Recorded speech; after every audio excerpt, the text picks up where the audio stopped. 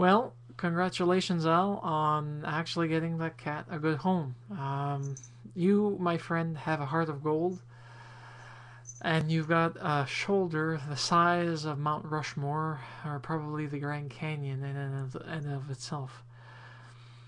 Uh, it amazes me how deeply affectionate you are to cats, and I, as a cat lover, um, I love animals in general, and I, I, I bear no ill will to dog lovers, but cats, especially intelligent cats and affectionate cats, tend to take first place on my heart shelf, if you will. Um, just thank you from the bottom of my heart as somebody who actually takes has a social conscience and does everything that he or she can to make it happen.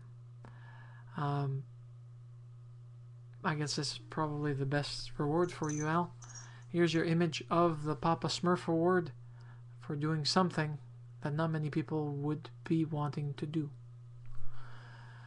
And thanks to your wife also for the fact that she's the second half of your uh, super energetic self, regardless of what ails you, Al regardless of what ails you.